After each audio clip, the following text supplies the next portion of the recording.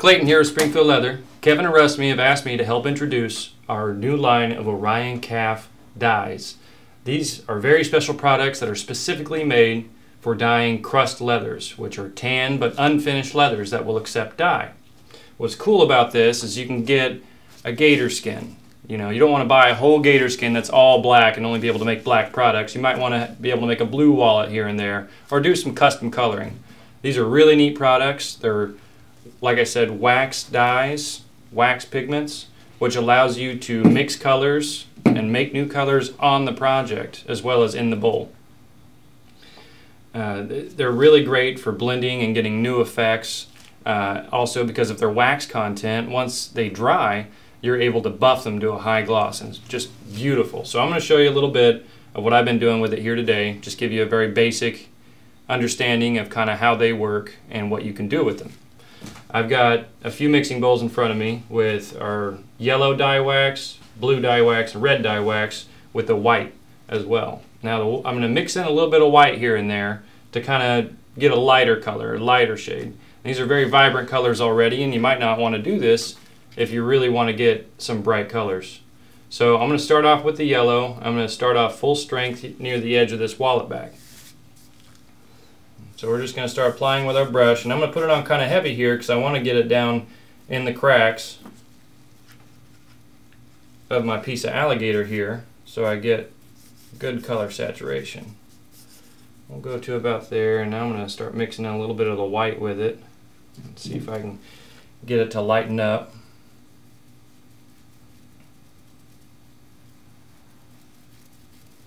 We're going to go all the way over, about a third of the way over on this wallet back. It's really neat is how these colors mix. Now I've got a lot on there. Like I said, I'm using this very liberally. Now you can be much more sparing with this depending on what kind of effect you're going for. But we're going to try and mix some colors on the project, so I'm going to leave a good bit on there. So I'm going to switch over and uh, we're going to go to red here. We're going to do a little bit of red on the project in the middle. Just start coming across. And see you got a lot of white on there. So we're going to get a little bit more of the full strength dye and darken it up.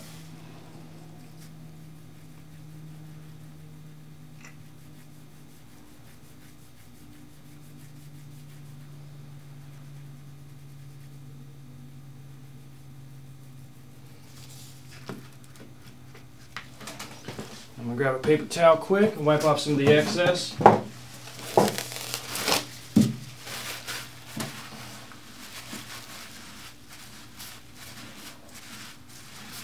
Oh, it's coming out pink. Let's add a little bit more red in there.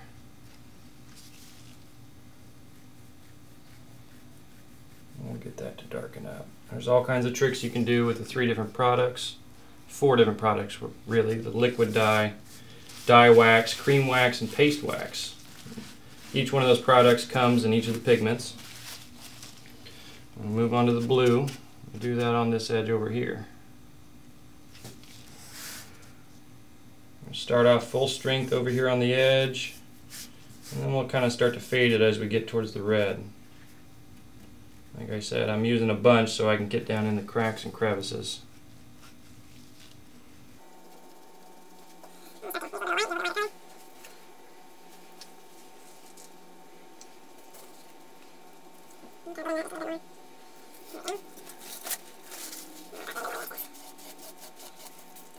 So that's pretty saturated with color. We got quite a bit on there. So now we're going to do a little bit of mixing of colors on the project, which is kind of what makes these unique. With regular dye, you start to kind of try and mix colors on the leather, and it goes south pretty quick. But this stuff is, is pretty unique and, and uh, variable. And so what we're going to do is I'm going to take a little piece of sponge here, and we're going to start mixing a little bit of the red and blue, mix a little bit of the red and yellow, and uh, kind of see where we go. Get a little bit of the full strength red here.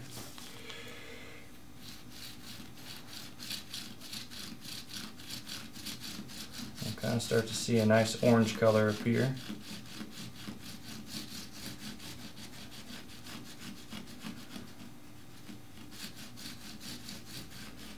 Start to see some yellow in the cracks, some red on top. One thing I've found with this stuff is as you're going through your project, you start to think, wow, this is really starting to look like crap, you know? It's not turning out the way you want, but follow through on it. Just keep working on it, follow through on it until the end, and you might be surprised at kind of what turns out. It's pretty amazing what these products will do. And as you start to blend colors and get towards those fine lines, you want to use less and less of your pigment, you know? So I'm kind of trying to get some of the excess off here. Start to rub it in and start to get it to blend a little bit more. Not have such distinct lines.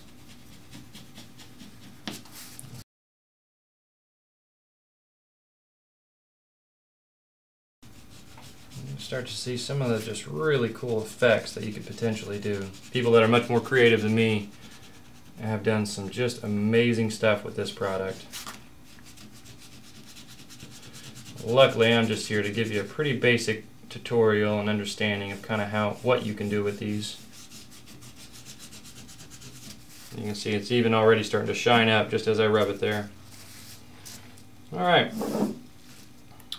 So, I'd like to go ahead and maybe get a little bit of green on the edge over here and just continue our continue our color scheme. Now, if I don't want to oversaturate it, I want I just have a little bit of space to maybe blend a color. You might want to use something like the cream wax. It's not going to saturate the leather nearly as fast. Uh, you're much it's much more prone to shading and transitioning colors.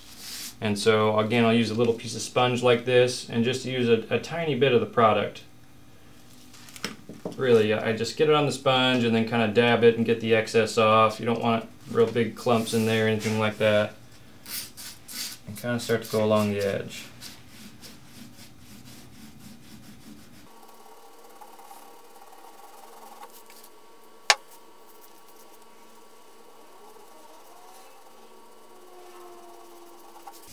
Start to see a little bit of the green in the cracks there. If you want to get a little bit darker maybe, you could use some of the dye wax.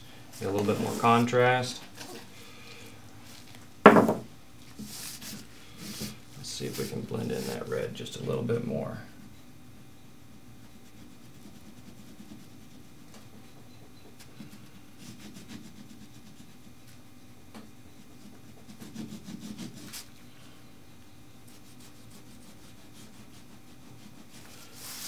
also take some of the red over here to the blue.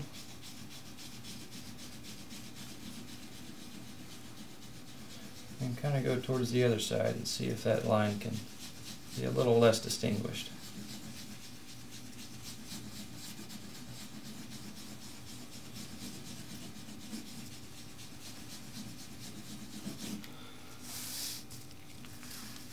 You kind of start to get a pretty neat effect. So at this point, we've got a colored piece of leather. Looks like a rainbow. Awesome. We're going to tip it which means kind of just going over and hitting the high spots on the alligator skin with another color, say black. We're going to kind of knock down some of that brightness a little bit, make it a little bit more subtle, and just have some highlights in the cracks. Now, since I want to lay on a fair bit of color, I'm going to use some of the dye wax again. That. I'll use another one of my little sponges here and get a little bit on the, a fair bit on it there. Again, we're going to take the excess off the best we can.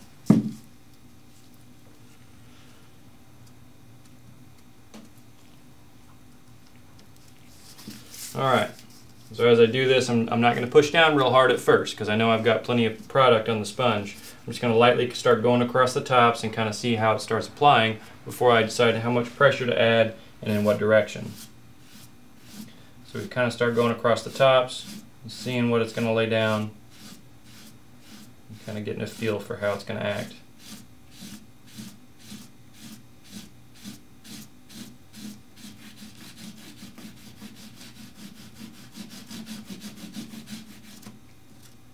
Starts to give it a nice kind of antique look.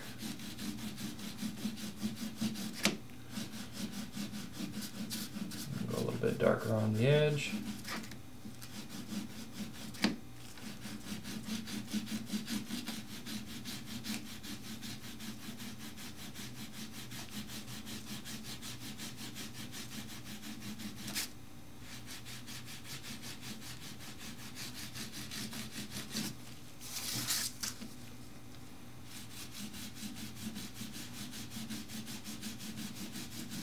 Now, if you can, try to refrain from applying more product to the sponge. You can really get a lot out of just a little bit of this.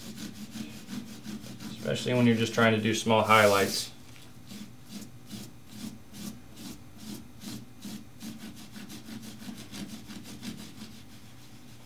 And if you get a part where it lays down kind of a dark streak there, where you saw I kind of got the tip of the sponge a little bit harder on it, you can kind of blend that out.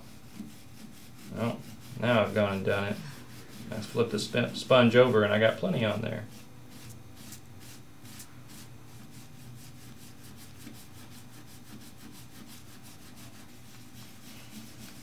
Just anywhere you want to add a little bit darker color, just kind of go back over and rub it around. And you can get some pretty neat stuff. I think it's pretty neat personally. And as you can see here in front of me, we've got lots of examples of other skins that we've done. Even just solid colors, you know, doing a solid blue and kind of fading it towards the bottom.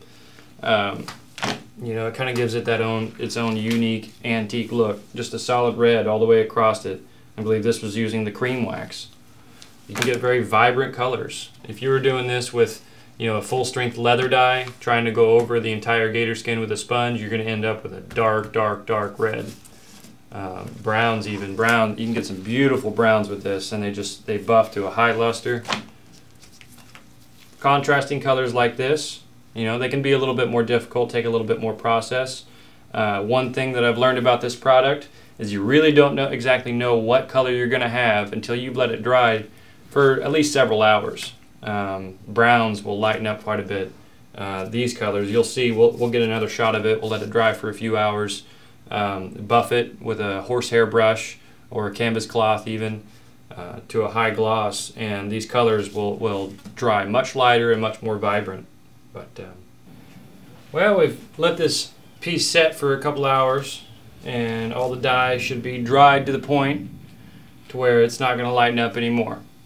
Um, it could, if you're doing, I've noticed the browns tend to take a little bit longer. If you go heavier on the dyes, obviously they'll take longer to dry. Uh, I've noticed a couple little white spots where I managed to not quite get enough dye in there and I'm just going to touch that up with a little detail brush real quick. Get that covered. Now you can find all kinds of beautiful examples of what people would people do with this dye online. Um, there's all kinds, you know, it, it acts like a paint in some regards. You can mix colors like paint. Um, it, has got a thicker viscosity like a paint does. And so using it with these detail brushes and being able to do highlights between the cracks of like a gator skin or uh, snake skin, um, you know, there, there's just all kinds of effects you can achieve with this higher viscosity uh, dye wax and cream wax. Now, since it's it's dried and it's been sitting a while, um, you know, I can still see some, some pretty defined black lines through here where we went through and kind of highlighted it. So I'd like to smooth some of those lines out, you know, kind of blend them a little bit. And so that's where I've, I've used the paste wax in the past. I've got the neutral paste wax here. And you'll see when I open it up here, it's neutral color. Kind of like a, looks kind of like a saddle soap or something. But I'm going to use that on a uh, canvas cloth and just try to get some of these lines blended in a little bit more. Since this is the same compound, it'll kind of help to lift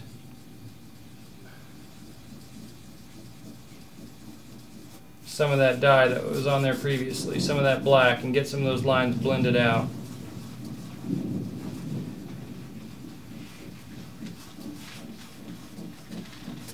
And you can see it is lifting some color back up. Now if we want to go a little bit heavier, we'll use maybe a sponge and get the excess off there.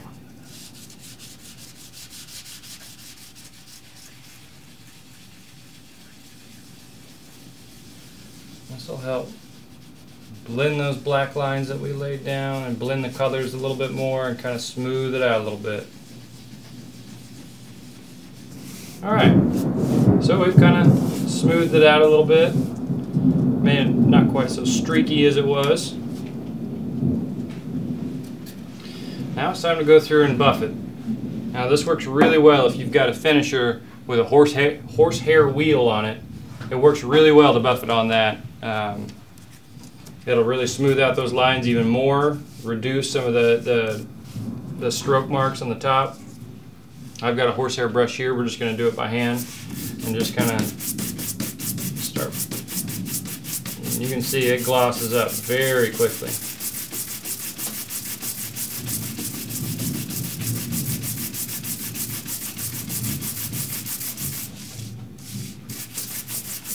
It is just amazing to me how well this stuff finishes out without any additional chemicals. Gives you really just a very professional finish.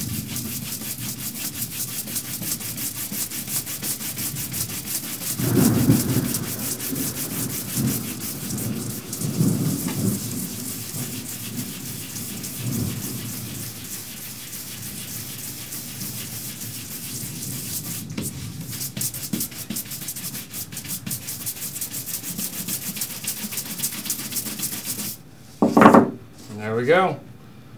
That is a finished wallet back right there. We're going to go ahead and finish this out, make an interior for it, and we'll get a finished product pho- photo for you. Like I said, a lot of people are doing a lot of different, a lot of different very neat things online with this, using detail brushes, using things like eyedroppers. This will help you get uh, exact ratios that you can replicate later on. Um, you can. All, there's a lot of people doing uh, abstract art with this, um, splatter painting, finger painting, all kinds of stuff on leather. It's beautiful. It finishes out nicely. Um, yeah, lots of experimenting to be done. Lots of creativity involved. Thanks for watching the video. Be sure to like and subscribe it if you got anything out of it, and uh, there'll be more to come.